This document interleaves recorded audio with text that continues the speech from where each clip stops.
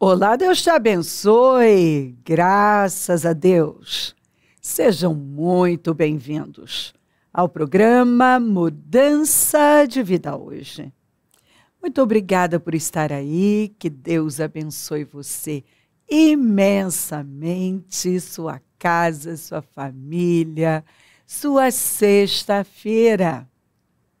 E o final de semana está chegando e que você tenha uma programação muito abençoada, maravilhosa com a sua família, começando pela mesa. Família é uma benção. Lembra das parteiras que o faraó mandou que matassem todos os meninos que nascessem? Elas, por temerem a Deus, não o fizeram. E a Bíblia diz que Deus as abençoou com que elas tivessem suas próprias famílias. Olha como elas foram abençoadas com suas próprias famílias. Porque família é uma bênção, filhos são a herança do Senhor. Construa uma família que glorifica o nome do Senhor, cuida da sua família, ame sua família, tenha filhos para a glória de Deus. E glorifique a Deus todos os dias, honrando aquilo que Ele nos mandou honrar, cuidando daquilo que Ele nos mandou cuidar. A nossa família é presente de Deus. Nossos filhos são a herança do Senhor. Então vamos cuidar bem daquilo que Deus nos deu. E nós estamos nesta fé. Propósito da mudança. Quais as três coisas que você não aceita levar para 2024 que está chegando? Quais as três coisas? A nossa fé diz que você não tem que levar. Você tem que buscar, você tem que clamar, orar, se curvar diante de Deus. E hoje, nosso primeiro jejum do propósito da mudança. Às 15 horas, abrimos, às 19h30 damos início ao encerramento. E eu sei que vai ser uma glória, como sempre. E nós estamos aqui sempre crendo e vendo a ação do Senhor, que é realmente de glória em glória, de glória em glória. E a glória desta última casa, deste último mês, será maior do que todos os outros meses e na vida de algumas pessoas até anos. Uma glória maior do que já viveram em anos. A glória desta última casa será maior do que a da primeira. E neste lugar darei a paz, diz o Senhor. E essa paz quer dizer shalom, com nada fora do lugar, nada desajustado, desarrumado, torto, não, áspero, não. Shalom fala de plenitude, com tudo alinhado, ajustado, organizado, arrumado. Entendeu? Shalom, onde a shalom não tem bagunça. Shalom não tem bagunça. Não tem coisas fora do lugar quebradas, desajustadas. Não tem, não. É shalom. É o, o significado de shalom. É tudo no lugar. É plenitude. Para onde você olha, você vê bênção. Você vê a glória de Deus. Isso não é incrível? É demais. É demais. É a promessa para nós. Em outubro Deus falou comigo. E eu falei numa reunião com os líderes. Eu falei: podem se preparar, porque eu tenho orado e o Senhor colocou, o Espírito Santo colocou no meu coração que em, em dezembro, que nós vamos viver o melhor final de ano da nossa vida.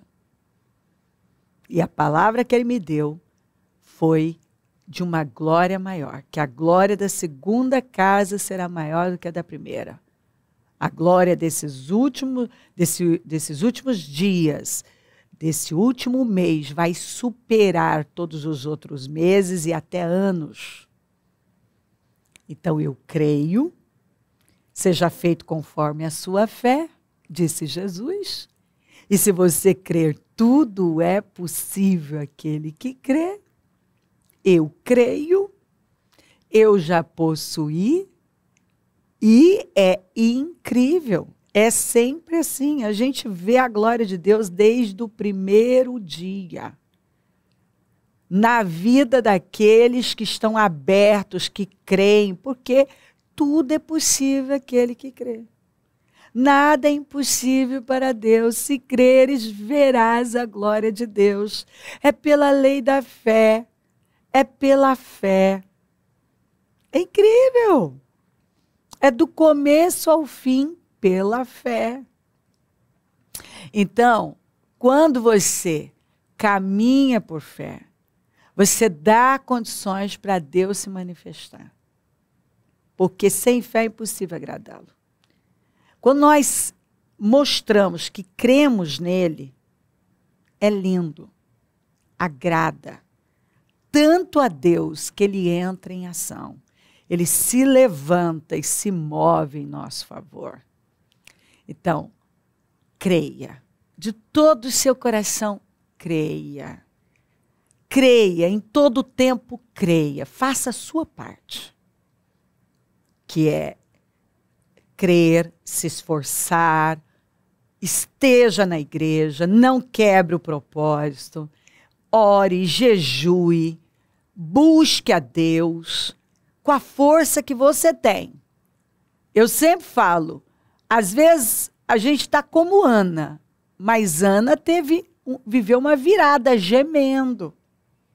A oração dela saiu em forma de gemidos. E ela foi atendida, ela moveu o Senhor em favor dela. Porque o que importa. Ó, e, e o Ezequias? doente, virou para o canto, fez uma oração curtinha. Senhor, tu sabes que eu tenho sido fiel. Isso mudou tudo. O profeta ainda estava no pátio, o senhor já tinha acabado há, minutos de entregar uma, uma sentença de morte. O senhor já falou: volta e fala para ele. Que eu ouvi a oração dele, eu ouvi as lágrimas dele.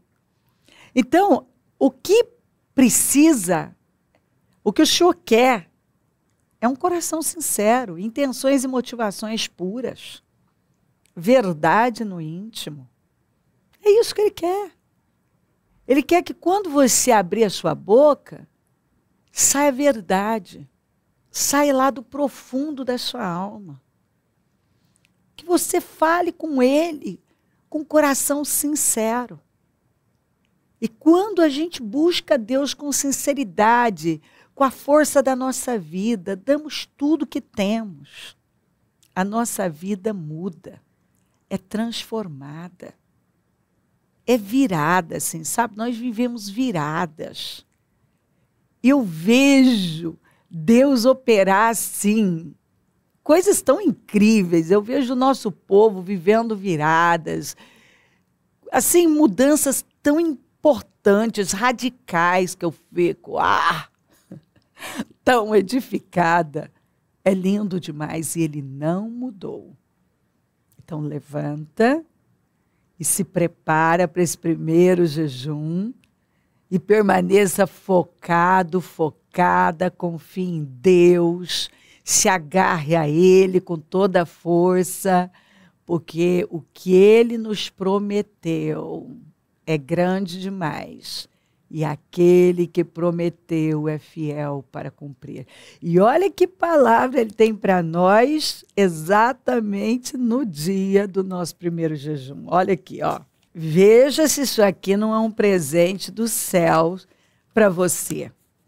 Mas no dia do julgamento também vou restaurar a casa de Davi, que desmoronou Vou consertar os buracos no telhado, substituir as janelas quebradas, enfim, reformá-la para que fique como nova. Então já começa com o Senhor dizendo: Eu vou restaurar o que está quebrado, o que desmoronou. Eu vou fazer uma reforma, uma mudança radical nisso aí que, que desmoronou? O que está quebrado aí? O que está cheio de buracos? Que precisa de uma mudança? O senhor está dizendo, eu vou fazer. O povo de Davi será forte outra vez e vai dominar o que sobrou do inimigo de Edom, e ainda todos os outros debaixo do meu julgamento soberano. E o decre é o decreto do Senhor, do Eterno. Ele vai fazer isso. Então ele está dizendo, ó, o meu povo vai ser forte outra vez. Então o Senhor está dizendo assim, eu vou te fortalecer. Você vai se destacar. E o que sobrou do inimigo aí, e todo o resto, eu vou dar vitória. Eu vou acabar de resolver isso aí. Eu vou dar acabamento nisso aí. E sou eu que estou falando. Ele está dizendo, eu vou fazer. Eu vou restaurar. Eu vou consertar tudo que está errado. Eu vou dar vitória a todas essas situações pendentes que estão aí. E é verdade, agora não vai demorar muito. Quer dizer, é para agora. É o decreto do eterno. As coisas vão acontecer tão depressa que sua cabeça vai girar. Nossa! Uma coisa depois da outra. Vocês não vão conseguir acompanhar a rapidez. Gente, eu já vi isso acontecer é um negócio que surpreende, é forte demais. É, é, são definições e definições e definições e definições, é uma coisa atrás da outra que vai se definindo, que vai acontecendo, que vai se materializando, de maneira que você realmente não dá conta de acompanhar tudo que Deus está fazendo. E é o que Ele está prometendo para você tudo vai acontecer de uma vez só.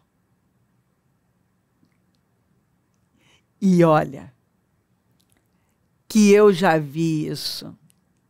Tudo chega da pessoa chegar e falar assim: "Eu tô eu tô assustada". Gente, está acontecendo tudo de uma vez. É, é bíblico. É isso aí. De gente dizer assim para mim: até o que eu não pedi. É, é bíblico também. A Bíblia fala que o Senhor nos dá até aquilo que nós nem pedimos. Antes de você pronunciar, estará acontecendo. Isso é bíblico, está escrito. Você vê como vale a pena a gente estar tá em Deus. Ah, meus queridos, se as pessoas tivessem a visão certa, do que significa andar com Deus, estar com Deus, andar com Deus. Sabe, quando você obedece, obediência resolve tudo. Eu vejo gente que está aí, ó, gemendo, porque se recusa a se render a Deus. É um sofrimento, é, é, é tanta vergonha, humilhação, porque se recusa se recusa a agradar a Deus, a fazer aquilo que funciona, que é obedecer a Deus, que é se submeter a Deus, é se alinhar com Deus. Porque as pessoas que estão alinhadas com Deus, não é que elas não têm batalhas, elas têm, mas elas têm vitória elas vivem suas vitórias em todas as áreas. Elas estão sempre vencendo, avançando, progredindo, evoluindo. A vida está andando, a vida está progredindo. É lindo. Por quê? Porque estão alinhadas com o Senhor. E aí desfrutam de uma promessa dessa, que é uma delícia quando você vê Deus se agradando de você, derramando as bênçãos sobre a sua vida, te respondendo. É, é gostoso demais quando você vê que você está agradando a Deus e Deus está se manifestando e a glória dele está se materializando e, e as coisas estão evoluindo e sua vida está progredindo. É, é bom demais. É bom demais. Eu só tenho que agradecer ao Senhor. Porque, sabe, eu posso falar de mim que seria da minha vida, da minha família, se não fosse o Senhor. Tudo que eu sou, tudo que eu tenho, eu devo a Deus tudo, tudo. Se eu tenho, quando alguém fala para mim é, sobre sabedoria e inteligência, eu recebi do Espírito Santo. A honra, a honra é sempre do meu Senhor. Porque, olha, eu sei. Eu não tinha condição nenhuma, nenhuma de estar tá fazendo isso aqui, de estar tá vivendo essa vida. Não, não tinha. Não tinha. Mas o fato de eu ter crido e perseverado e me esforçado, isso é uma caminhada. Lá atrás, saindo de casa, uh, grávida, com filho doente, depois com um bebezinho nos braços e andando uma, uma distância debaixo do sol, atravessando o terreno com, com mato, ou hora com barro para chegar na igreja. Depois prosperei um pouquinho, ia com uma bicicleta e levava essas crianças e quando eu olho para trás, eu vejo o resultado dessa entrega. Ah, louvado seja Deus. Obrigada, Jesus, por ter me dado graça, sabe? E não ter desistido nunca.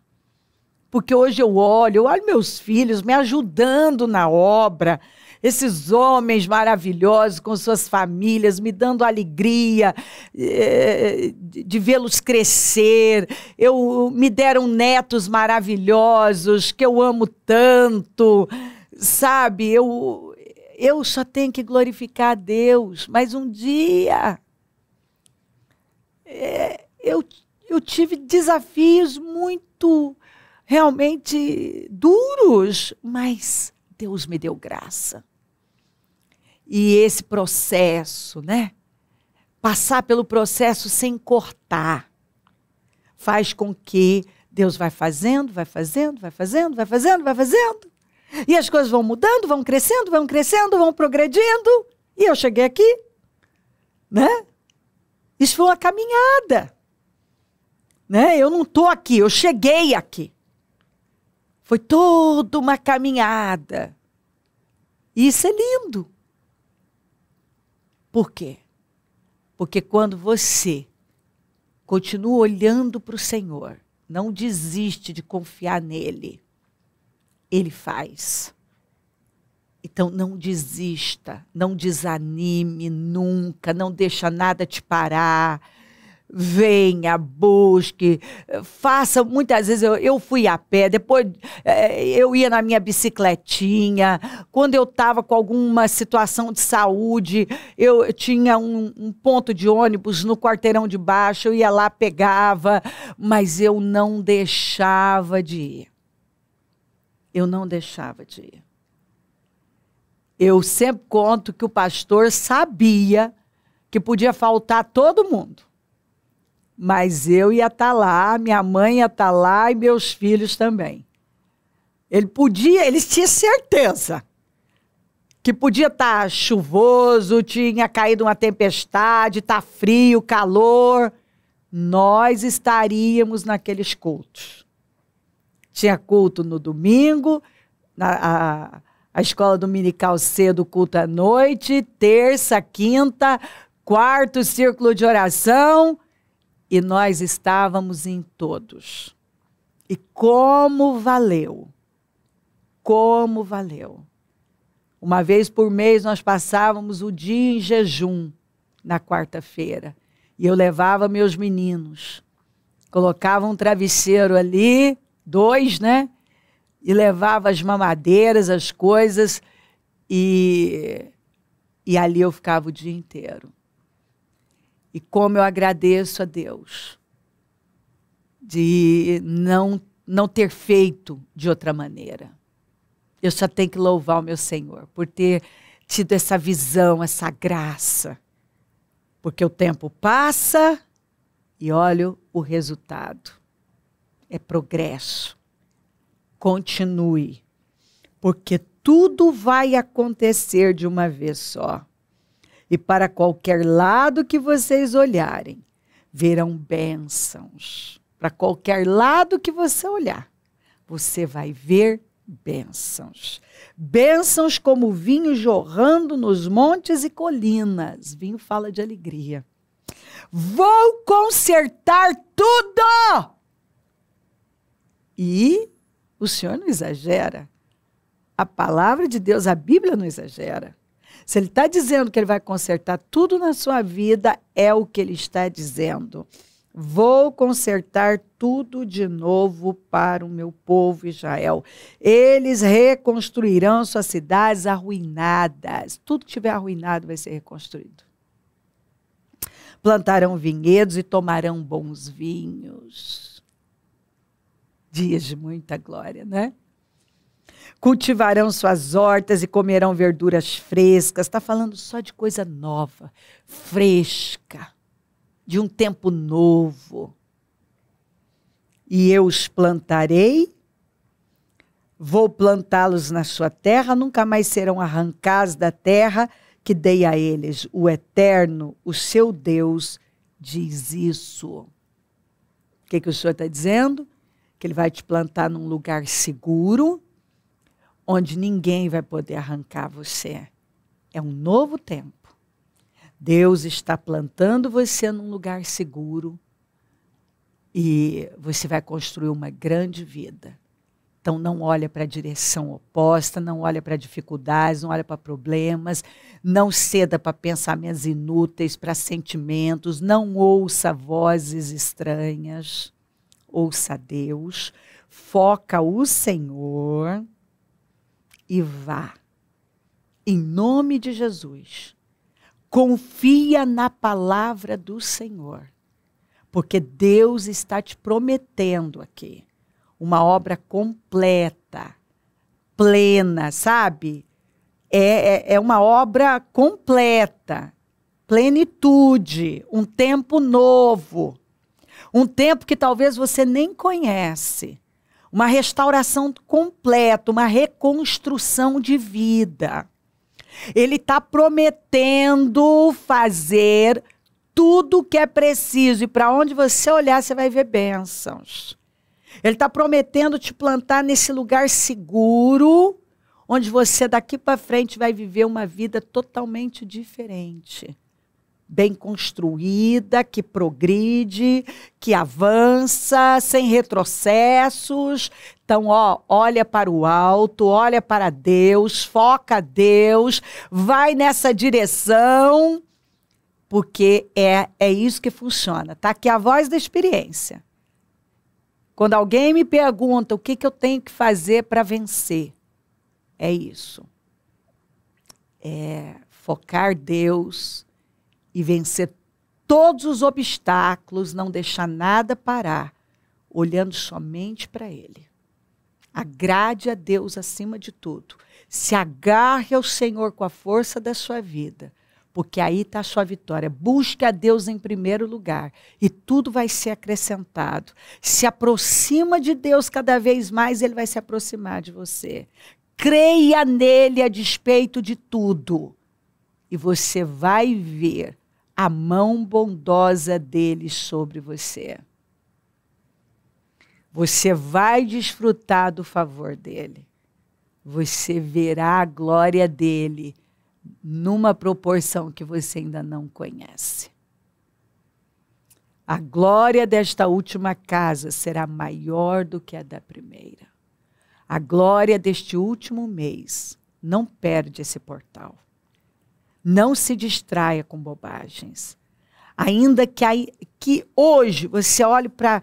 Uh, e, e, e parece assim: olhando, não vai dar, não vai acontecer, vai. Você está buscando o Deus do impossível.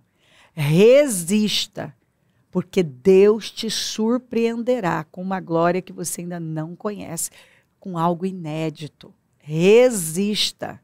Deus prometeu fazer e ele vai fazer. Resista, confie em Deus.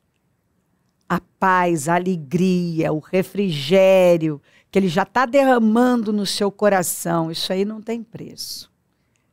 E ele tem prometido uma obra completa. E aquele que prometeu é fiel para cumprir. Então se agarre à fidelidade de Deus. Se crer, desejar, quiser orar comigo, prepara algo que queira que receba oração. Eu volto já para a gente orar.